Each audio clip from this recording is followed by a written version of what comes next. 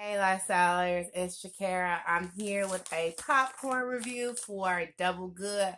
I just wanted to get this on out the way because I'm about to smash these popcorns. They taste salty and cheddary and they remind me of that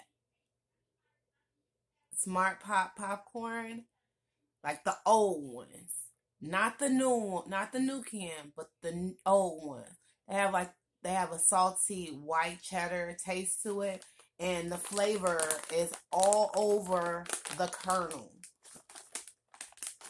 The flavor is all over the kernel. The popcorn is light and crunchy. Got a nice chew to it. And this will be my editing snack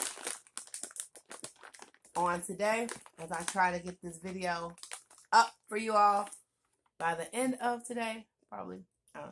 But this popcorn for Double Good is amazing. Tastes great. Salty, crunchy, just and smooth. Smooth. Says it uses white cheeses, cheese powder, whey. Oh, it's got blue cheese in it.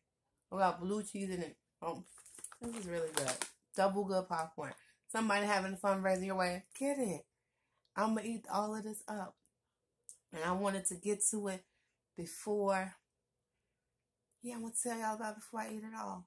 All right. So, as always, Black Beauty and Black Making Matter. Also, be looking forward for a video with all the double good popcorn I. This one will be NIA. Isso.